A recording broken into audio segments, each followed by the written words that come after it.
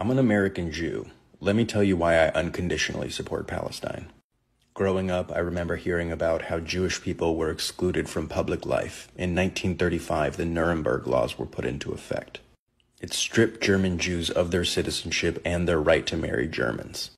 In 2018, the Israeli nation state law was passed. It downgraded Arabic and established settling in the national interest.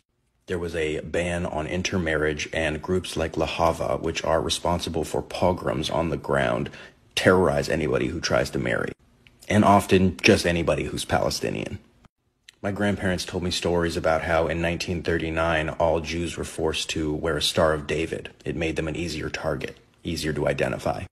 Palestinians are forced to have specific ID cards which indicate their level of access. Palestinian vehicles have to have different colored license plates, which indicate which roads they are or not allowed to drive on. Following the invasion of Poland, Jews were forced into ghettos, barbed wire, fences, cut off from the rest of society. They faced shortages of food, water, and medicine, and they lived in constant fear.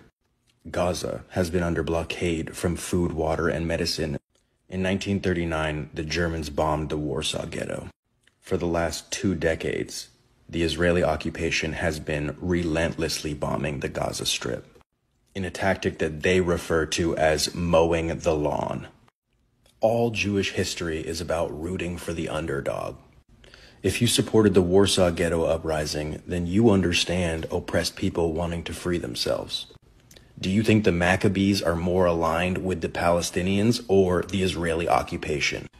I don't know about you guys, but I'm old enough to remember when Jews rooted for David and not Goliath.